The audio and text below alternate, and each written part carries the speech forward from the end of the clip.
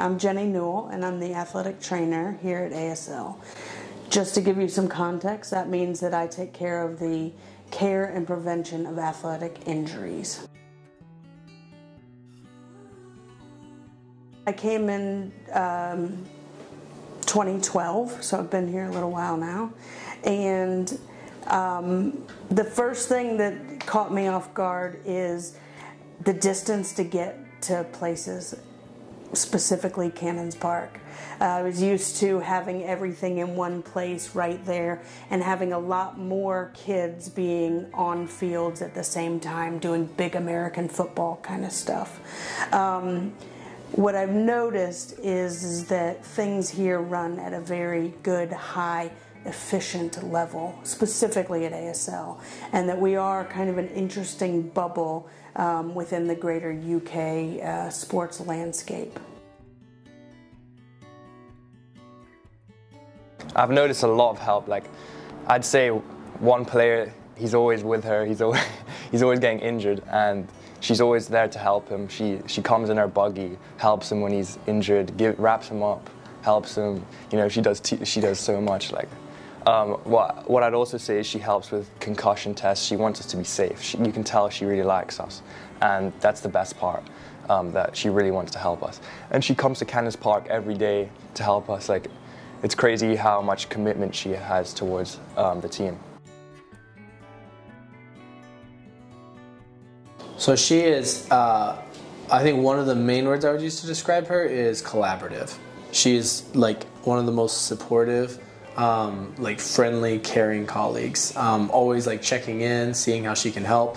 Um, and she's always like showing initiative as well. Like she's never someone that's like, oh, that's not my job, right? She's always like seeing how she can support um, like the PE team, the fitness department, um, any sports team. She's always like, yeah. So I'd say collaborative, um, friendly, caring, really thoughtful as well. It sounds cheesy, but it really is the students. Uh, being able to work with teenagers and watching people grow through their phases and get through stuff and find out that they are tougher than they thought or make different choices in life than maybe they thought when they were younger um, is really enjoyable. Uh, I think we definitely need a lot of help with injuries because we play so much football. So it is like really vital that we're all sharp and fit to play. And by giving us information, by helping us when we're injured, wrapping us up, it really helps um, keep the team strong. Jenny, um, she probably has a lot of other commitments, but she always comes and cares for us. She always visits us and helps us, um, which I really appreciate. I feel like the students love her and care about her as much as she loves and cares about them. Like she's so thoughtful and caring towards the students, and I feel that reciprocated. Like so many students. Um, I mean, sometimes people come down when they're not even injured. They just want to like talk to her or tell her about like how uh, how the recovery is going or something like that. So I feel like it's a really strong relationship that she has with her students.